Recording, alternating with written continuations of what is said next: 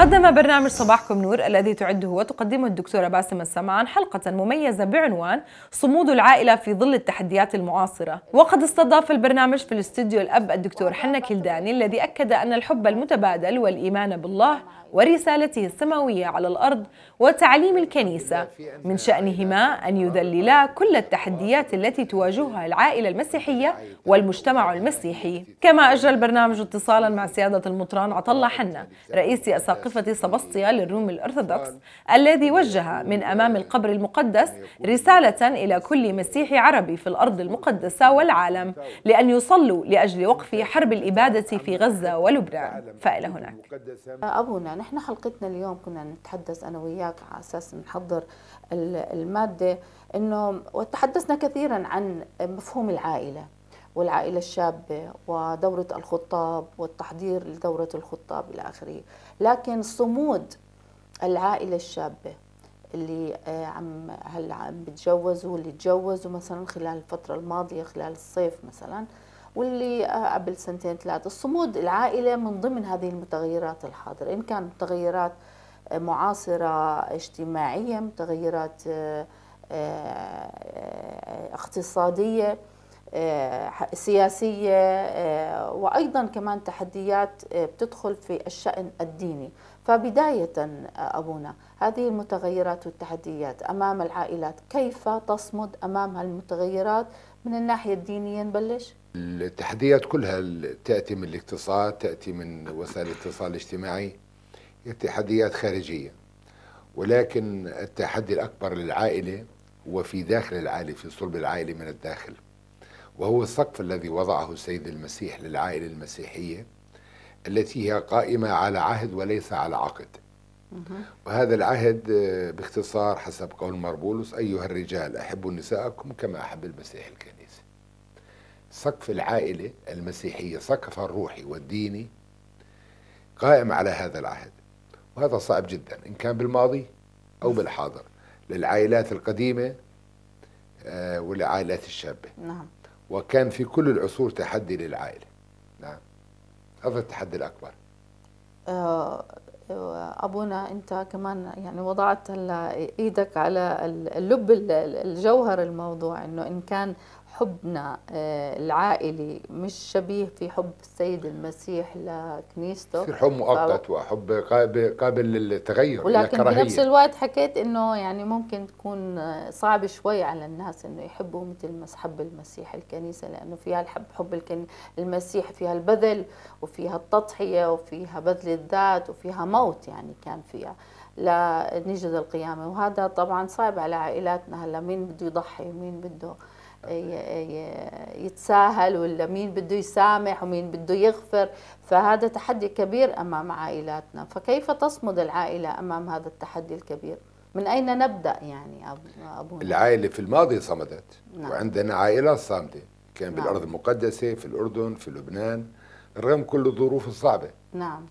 واليوم التحدي اللي بيتكلم عنه قداسة البابا فرانسيس. نعم. يقول لك في الرواب نحن جميعا تحت ضغط ثقافات اللحظات العابرة. ثقافة اللحظات نعم. العابرة التي تشكل خطرا كبيرا لأنها لا تضع الحياة في مسيرة تواصل واكتمال والتزام. ليس مسيرة تواصل هي مرحلية. واليوم هناك ممن يتهم الزواج بأنه موضة قديمة حتى نعم. الزواج موضة قديمة. وهل هو كذلك قداسة البابا؟ ثقافة اللحظات العابرة تهوي المجتمع. وكأننا نريد أن نظل مراهقين مدى الحياة حتى الإنسان لما بيتزوج قد يبقى مراهقا. لا ت... يقول قداسة البابا لا تخافوا من الالتزامات النهائية. الالتزامات تطال الحياة بأسرها. بهذه الطريقة سنثمر لا محال هذه الحرية أن نمتلك الشجاعة في اتخاذ مواقف عظيمة. نحن ضحايا هذه الثقافة ثقافة اللحظات العابرة. مقابل ثقافة اللحظات العابرة التشتت الذي تتعرض له العائلة يقول لنا ماربولوس يقول من خلاله يقول لنا السيد المسيح أيها الرجال أحبوا نساءكم كما أحب المسيح الكنيسة. ليخضع بعضكم لبعض بتقوى المسيح.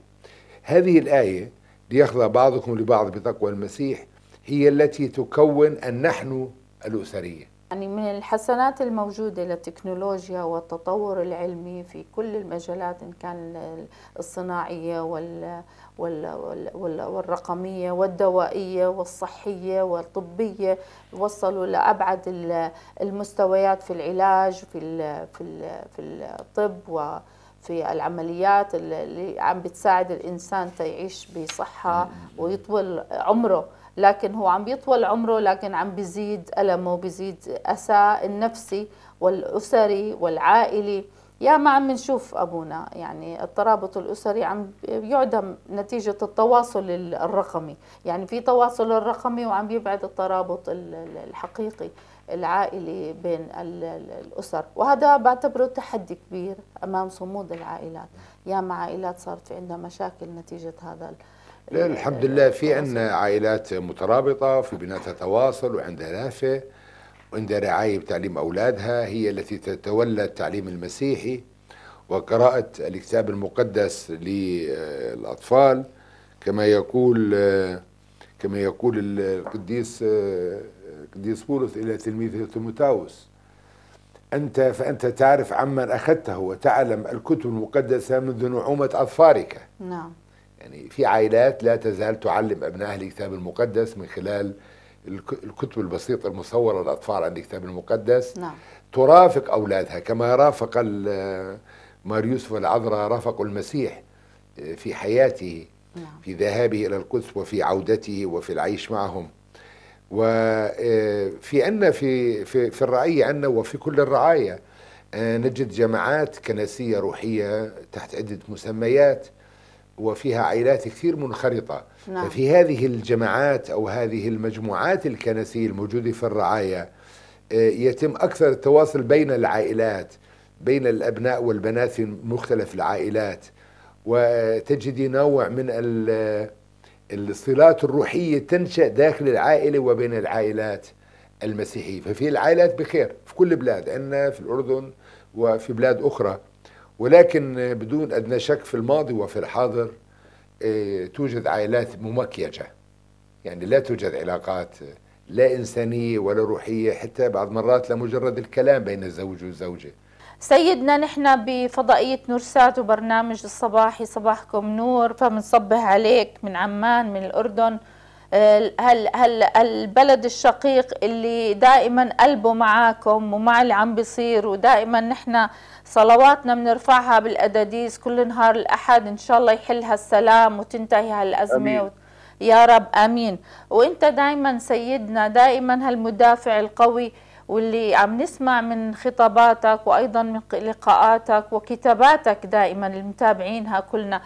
إنه هالتحديات وهالواقع وقائع الحروب المتوالية على الأرض المقدسة وسياسة الاقصاء وهالعنصرية المستبده اللي بيواجهها الشعب الفلسطيني اللي هي أنا بتعرض لما بقول بيتعرض مش الشعب الفلسطيني كل إنسان عربي على هذه منطقة الشرق الأوسط وحتى كمان الإنسان العربي المسيحي اللي بتتعرض له الأرض المقدسة نعم. من انتهاكات كل مسيحي واجب عليه إنه يرفع الصوت ويحكي رأيه نعم. بهذا الموضوع. فأنت شو بتخبرنا؟ إنه دائما الإنسان المسيحي العربي اللي بدول برا الغرب واللي عم بيسمع اللي عم بيصير في منطقة الشرق الأوسط من بغزة أو بلبنان بتساءل أنا كيف بقدر أساعد؟ كيف شو أعمل؟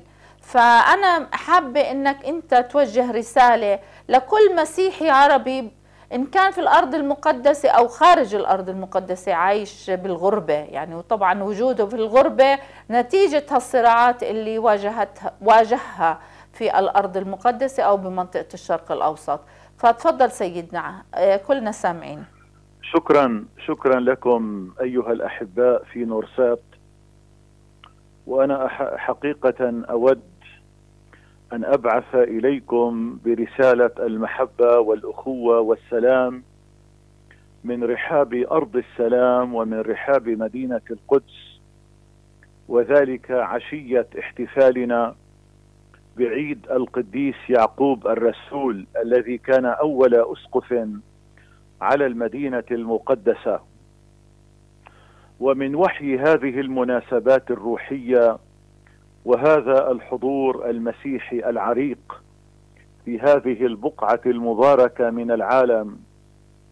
ما أود أن أقوله لمن يجب أن تصله هذه الرسالة بأن ثقافتنا كمسيحيين في هذه الديار وفي هذا المشرق ليست ثقافة الحروب وليست ثقافة العنف وليست ثقافة القتل بل ثقافتنا هي ثقافة احترام الإنسان وحق الإنسان في أن يعيش بحرية وكرامة في أرضه وفي بلده وفي وطنه.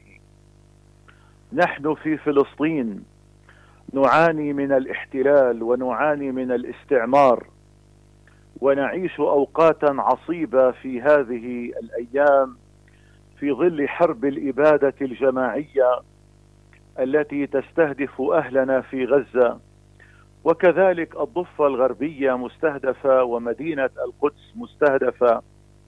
ومن المؤلم والمحزن أن فلسطين التي من المفترض أن تكون ارضا للسلام ارضا للمحبة. اليوم هي ليست كذلك.